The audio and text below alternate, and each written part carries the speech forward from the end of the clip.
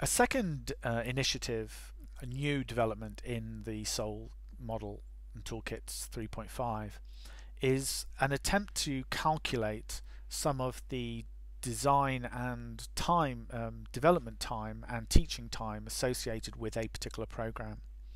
So the way this is being done is at a, at a very top level is we've allowed for uh, entry here of the different types of players that are engaged in learning support. So we can change. You can continue to change the language as much as you like. Uh, I'll change this to say individual tutor, for example, uh, and I can then try and work out what I'm assigning time to. So in this case, it's going to be a drop-down box again based on that list. So now I'll have to go in and just change the individuals just to be consistent.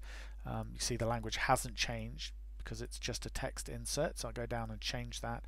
I can see that where I've got those um, activities which are, that are going to be driven by an individual tutor, I can then look at the amount of time spent to develop those or to run those instances and then make potentially a calculation per student where that's relevant. So if it's a cohort activity, the chances are it's unlikely that it requires uh, a time allocation per student. But if it's an individual activity that's going to require some input from a tutor at some point, you might want to assign um, some sort of sensible number that would allow you to calculate roughly how much engagement you would have with with individual students.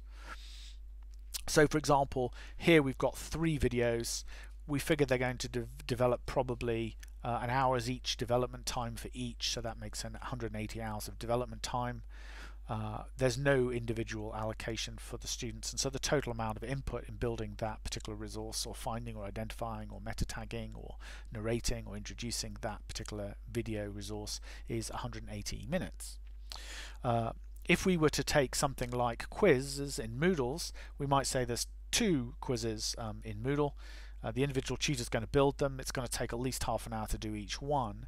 But we also are, are imagining that perhaps an average uh, amount of time to review quizzes, to answer back students. So we know that there are 50 students.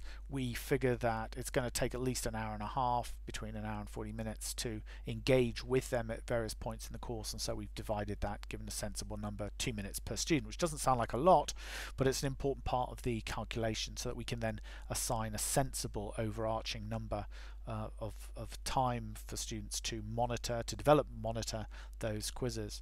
So it, it produces a fairly crude estimation, but it's intended for uh, managers, module managers, program leaders to try and work out what uh, the workload is based largely on the kinds of resources that are going to be produced. So if you're doing something fairly pedestrian, if you're just posting loads of readings up into a into a Moodle, you'd expect that to be a fairly um, empty list. You might just have an individual spending, claiming that they're going to spend eight, ten hours to build uh, a module course, and that's going to give you a fairly, uh, over, uh, fairly small overarching number. Of course, we know in reality these uh, these courses do tend to get a little bit messy, and this is an attempt to try and map out some of that messiness in advance, just as an illustrative tool.